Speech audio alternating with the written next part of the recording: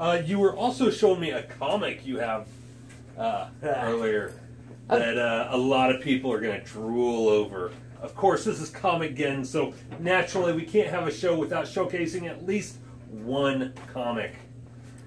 And what Billy has here is the first comic book appearance of Harley Quinn It's all dusty. from the Batman Adventures comic book. And I've got the photo to go with it.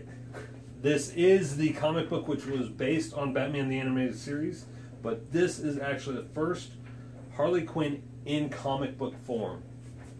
And this is that the animated series Harley Quinn that goes with it as well.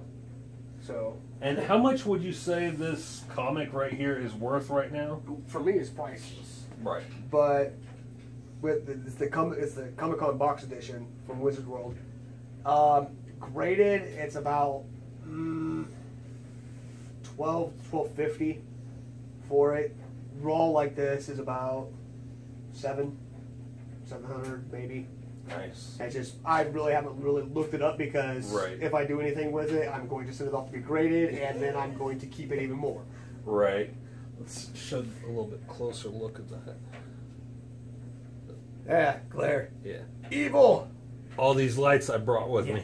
The cool thing about this is I actually found this on eBay. Guess how much I paid for it? Three bucks. Uh, a little bit more than that. Fine. Twenty-five. Nice. Twenty-five dollars for it. Nice. And actually, the guy was really cool when he shipped it in this hard case like this.